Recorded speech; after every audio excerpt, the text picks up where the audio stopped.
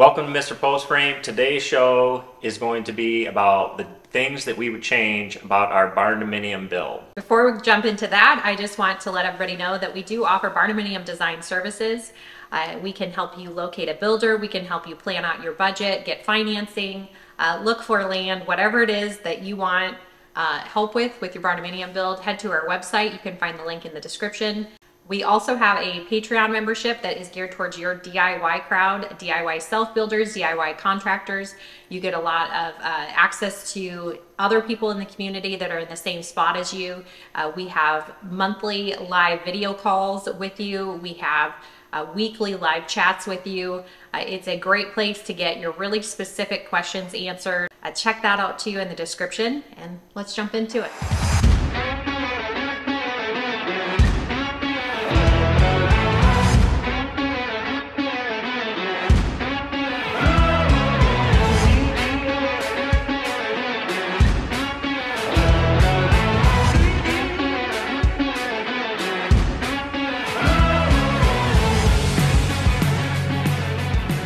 First thing that we would change about our barn barndominium build is that we would have used half inch roof sheathing underneath our metal. And there's a few reasons for that. Um, it has caused us no problems up to this point, um, but one of the things that it would eliminate uh, the chance of is condensation.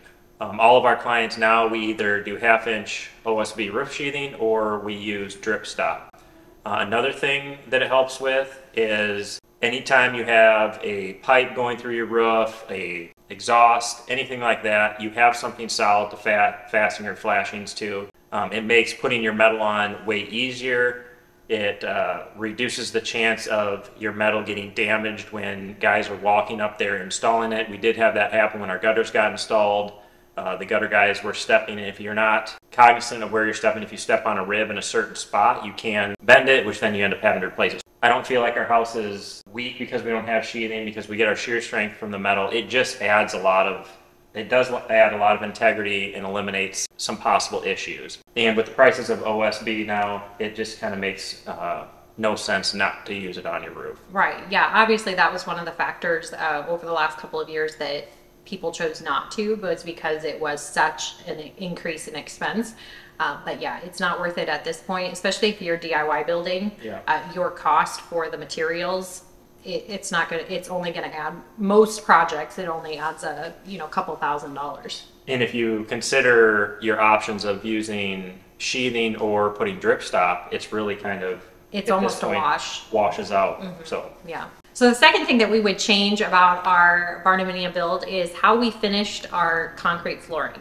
Uh, so we did use epoxy on it and let I'll clarify first that there are some great things about the epoxy that we used. Uh, the first thing is that it makes it so that the floor is not porous at all. You could have water or or anything sitting on the surface and it would stay there until it entirely evaporated. So that part's really great. We never have to worry about things staining.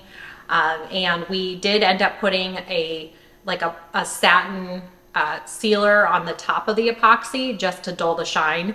Uh, so that it's not as obvious when you're walking around in dusty, uh, dusty shoes, things like that. But the reason why we would do something different is mainly because we attempted that on our own, just the two of us, and with 2,300 square feet worth of concrete to put epoxy over, that's simply not enough people. Uh, we think that we could, we would have had a better result and maybe not had it on this list had we had at least two other people with us. Is that correct?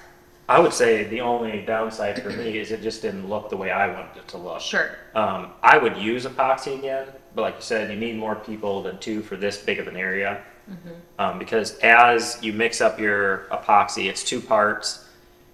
As it goes along in the cure time, it, it will change the color of the floor. So there's a couple spots where we were just ending one batch and we were starting a new batch and there's a, just a slight coloration difference in the concrete. So you can see right there, that was the end of one batch and the start of a new batch. So that one ended up a little darker. Now, I will say that I never ever noticed this anymore, but it did really bother me at first. Now, as far as our four by four squares that we cut on there and filling those with grout, that's amazing. Mm-hmm.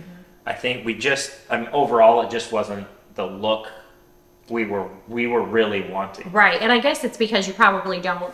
It's sometimes hard. We what we've tried to do is introduce people to different uh, options for your concrete because it does the color of your concrete is going to be affected depending on what sealer you put on. For me, the biggest shock was that I did. I guess I didn't fully digest that the epoxy would darken it, so it As would much look, as it did. Yes, like so that it would look like wet concrete forever.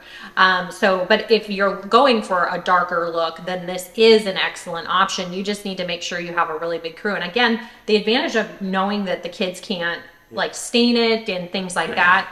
Um, the thing to keep in mind with concrete though is no matter what you use on it, nothing is a permanent sealing solution.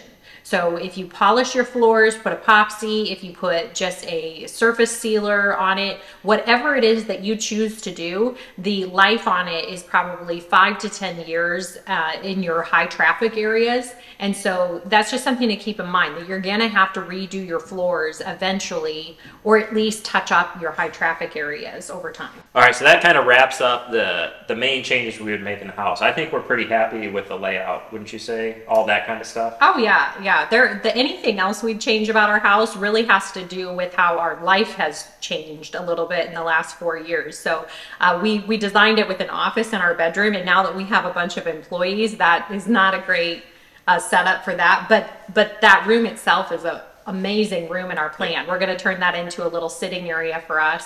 Um, I think that right now, maybe we feel like the square footage is a little much, but we know that in a few years, our kids are going to be a lot bigger and we're going to be so happy that we have that space for them. So I guess the rest of the changes that we would make all come from the garage, and I'll just tell you what they are, and then we'll kind of discuss why. So uh, one is we would have put a full bathroom in the garage. Two, we have a canning kitchen in there. We would have closed that off with doors, which we are planning on doing, and put uh, AC in there. And then the third one is uh, after we started building, we decided to make a room above the garage. So we have a LVL header and a few posts in the garage. Now the posts don't um, affect you opening your garage, your car doors all the way or anything like that. But we could have avoided that had we knew we wanted to do that. So the first thing, as far as the bathroom goes, that's because we lived in our garage while we were building. Like we got that done first, lived in there, and it created a lot of. Uh, I guess it was just hectic coming in and using the bathroom. We had house wrap around the bathroom um, while we lived in the garage. So Yes. definitely added that. Yeah, we were here over a winter, and so we didn't have, and we were at a point in the build where we didn't have the heat on in here, and so there was just it. It did create some struggles there. Then it started creating struggles once we had like the drywall crews coming in, or when we did finish the uh, concrete floors, because we had to keep pulling the toilet out um, during the day, and we didn't have any other bathrooms. So, um, and I think even if we weren't planning on living in the garage, I think that that is something that we would highly recommend that you at least put a half bath in your garage um, so that you're not coming in, in and out of the house all the time. Yeah, we have a, a bathroom right inside the garage door, but I'm I'm assuming that most of you are kind of like us. If you're self, you're going to self build. You might be living in the garage. You might have a bigger shop where you backed your camper in there, and it'd be it's really nice to have that. Just kind of focus on that space, finish it, and then you have that while you work on the house. But Right. just thought we'd mention that if you guys are planning on kind of going the same road we are, as I'm assuming a lot of you are. And then the canning kitchen. Um, I'm a big outdoorsman. Uh, we have a huge garden, so we're constantly using our canning kitchen. In the summer, is the major issue. Is one having that open to the rest of our garage? It keeps it. It makes it a lot more difficult keeping it clean. Mm-hmm. And then when you are canning, obviously you create a lot of heat. So it'd be nice to have that all isolated for cleanliness and to keep it cool while we're working in there. Yeah, absolutely. And since we lived in the garage, we really didn't notice the problem until just in the last probably year. Like Yeah. last summer is when we went, oh, the light bulb went off. We treated it as we treated it as our house, so it's kind of like an open concept where we just the kitchen's Right. open to the rest of it. And then the last thing is our garage is 56 foot long, 40 foot wide, and while I was building it, we have 512 roof pitch. I was like, man, there's so much space up here, so I decided to um, add an LVL header all the way down the one side and then put I joists up there so I could eventually have a 13 by 56 foot room. And we had to add those posts because we didn't have our trusses built according uh, to have a room up there. Which um, keep that in mind. If you're thinking you might want to do that, you can have your trusses built in a way where you won't have to have posts. I mean, all these trusses are capable of free spanning, even with a room up there. But it, it doesn't affect our doors. It would have just been one of those things where it'd be nice not to have the three posts that I put in. But that it was worth it to us because we're going to add how many square feet is that? It's, uh, it's just over seven hundred square feet of additional living space, so it'll be a great, and you'll access it from the loft in our second story, and so it's a great place for the kids to have more room to play Yeah. as they get bigger. Um, so yeah, but if you're questioning whether or not you'll have to have that kind of setup in your garage, uh, if you want a room above it, the answer is no. We, would you can design it in a way that you don't have any of that. Yeah, so those are those are some things that we would have changed. I mean, for the most part, we're really happy with the way. I mean, I wouldn't say we're unhappy. Those are just some things that we, Right. we've been like, dang, we would do that differently. Which there's always something that you would do different. Right, right. And on our list, you know, technically speaking, three three of the five we can remedy. We can sheet the roof if you, we want to. Uh, we can we're we are remedying the canning kitchen. Those two uh, elements of it.